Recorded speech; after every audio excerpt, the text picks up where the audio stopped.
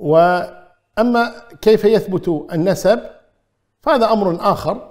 والأصل أن الناس مؤتمنون على أنسابهم كما قال الإمام مالك رحمه الله تبارك وتعالى فكل من أثبت نسبه إلى آه، رجل من آل بيت النبي صلى الله عليه وسلم سواء من ذرية آه، الحارث أو ذرية أبي طالب أو ذرية العباس أو ذرية آه، أبي أبي طالب والعباس والحارث وأبي لهب من أثبت نسبه إلى أحد هؤلاء.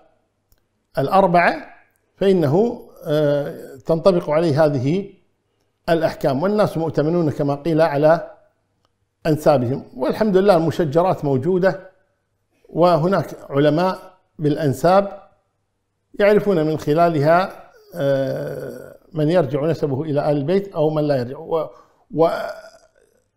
وأكثر نسب في الدنيا اهتم به وركز عليه العلماء علماء الأنساب وألفوا فيه الكتب هو النسب الشريف نسب النبي صلى الله عليه وسلم ونسب آل بيته رضي الله عنهم عن المؤمنين منهم.